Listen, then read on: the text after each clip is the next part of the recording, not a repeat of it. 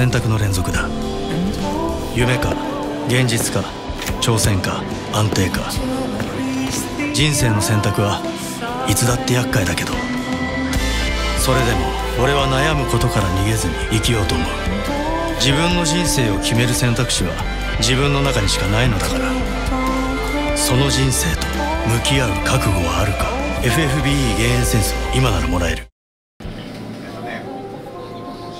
松岡さんです。よろしくお願いします。レディーアクション。1989年10月26日にこの世界に入った時だと思います。先代の社長から来てくれって言われた時ですね。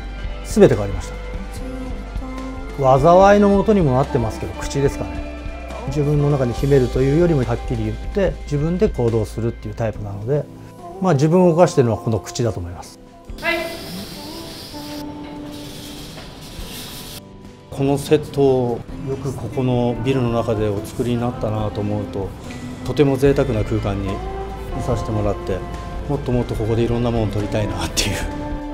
すごい皆さん一人一人の方がまあプロフェッショナルでいらっしゃるからうんそこにすごい感動しました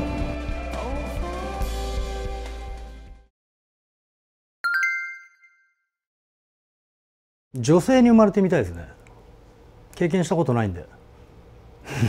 どっかの企業でバッキバキに働いてたいですね。